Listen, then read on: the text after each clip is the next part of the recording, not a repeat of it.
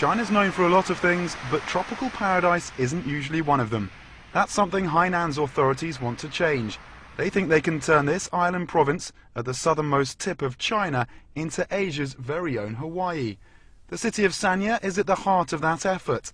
The former fishing village is already home to more than 20 international hotels, while dozens more are being built. It's played host to golf competitions and even the Miss World contest to raise its profile. Russian, Korean and Chinese tourists have bought into the dream. They flock here in their thousands every year. Now the push is on to entice over sun worshippers from Europe and the US. Hainan's got the beaches, it's got the palm trees and it's certainly got the weather, but is that going to be enough to turn this island into a major tourist hotspot? Sanya's head of tourism certainly thinks so.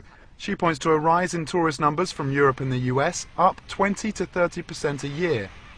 When Sanya was still a small village 23 years ago, we decided to set up the goal to promote our small town as an international tourist spot. In order to do that, we are increasing our expansion on the international market to include people from Europe and the US.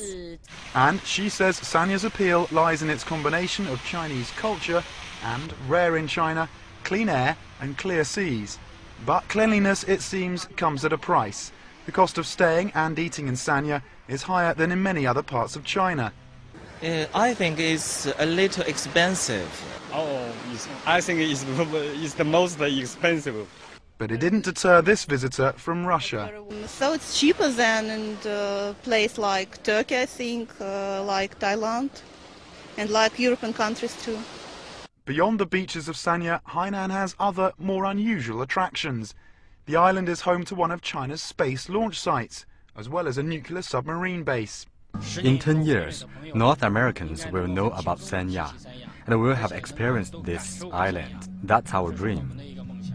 Only time will tell if Hainan can really turn into the next Hawaii, or instead become a paradise lost. Tom Mackenzie,